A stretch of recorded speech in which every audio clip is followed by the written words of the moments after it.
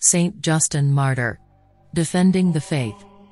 Saint Justin Martyr was a 2nd century Christian apologist and philosopher who devoted his life to defending the Christian faith.